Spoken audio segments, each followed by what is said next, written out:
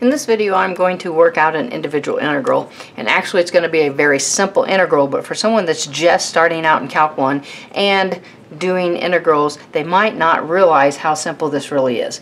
If we've got the integral of the square root of pi dx Alright, just because this is in symbol notation and you've got a pi sitting in there, a lot of people aren't going to at first, maybe especially if you're not very good at math, recognize that really square root of pi is just a number.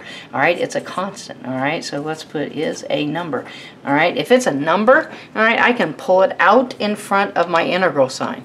Alright, well as soon as I pull that out in front, square root of pi times the integral of, that would leave me with an imaginary 1 dx. Let's go ahead and write that in for that beginning uh, calculus student. All right, now integrating 1 dx is just going to be an x, so it's going to be a very simple integration here of square root of pi times x plus c.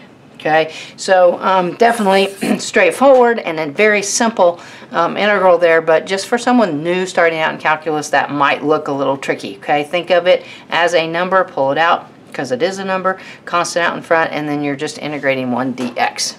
Definitely thanks for watching, and don't forget to share with your friends. Thanks.